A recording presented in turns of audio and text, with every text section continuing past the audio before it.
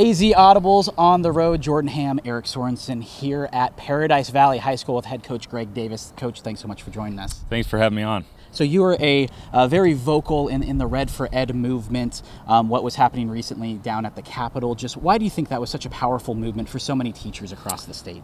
Well, for me personally, I have uh, three daughters that are um, in school right now, and and so you know, as a dad, I want to see them have the opportunities to be successful and find what they're interested in. And, um, you know, I really want them to have the best teachers possible, you know, and, you know, I know personally I, I do uh, as much as I can do for, for young men and young women in my classroom and on the field. And, um, you know, right now, the education movement is really just to create opportunities and keep good teachers in the classroom. And so uh, I think our voice was was heard, you know, and, and it is being heard right now.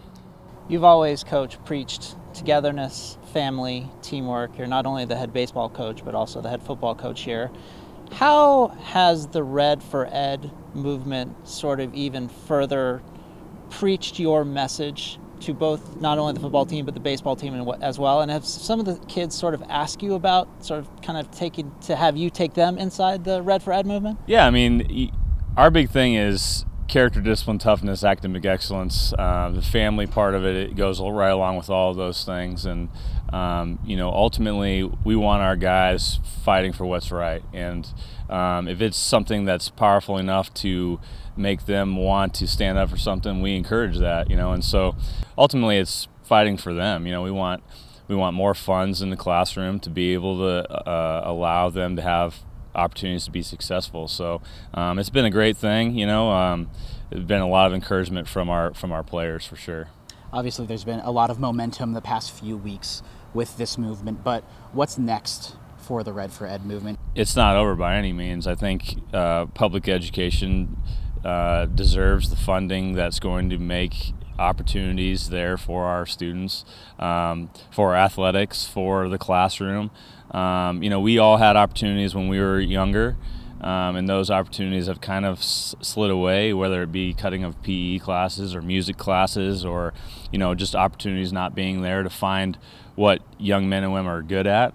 And so um, right now, I think it's just continuing what we've started. Let's transition from the classroom now onto the football field. Last year, PV, sort of an up and down year, and you lose some key seniors, Xavier Watkins, um, Brick Hudnut, Max Seifer. What have you seen so far this spring from the 2018 PV version on the field?